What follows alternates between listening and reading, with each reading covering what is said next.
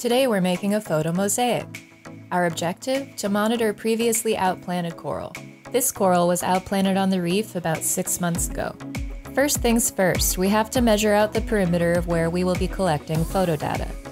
Mike is using a measuring tape to create a perimeter. At each end, there will be coded targets, which software recognizes for scale. Then Megan has to start swimming. She must try her best to swim at a constant depth and hold the camera facing down parallel to the reef. The white chains are reference points for Megan. Today we're covering an area of about 100 square meters. Usually, as you see Jim doing here on another day at Sombrero Reef, we use two cameras mounted on PVC pipes. With two cameras, we can collect the same photo data in half the time. The camera has been set to take continuous photos as they swim. In the end, thousands of images will be compiled into one large image. The final composite image will be a detailed photographic map of the reef. When Megan was done with this session of collecting data, this was the resulting very high resolution image.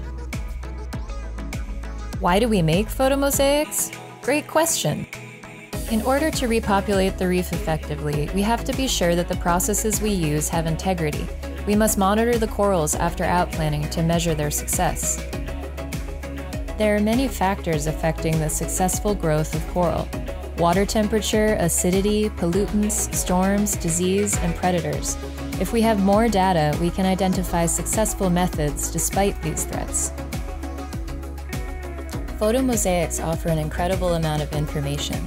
We can zoom into the smallest detail in order to observe one piece of coral or track changes in the overall picture to study the entire outplant site. Thanks for joining us today on this photo mosaic dive.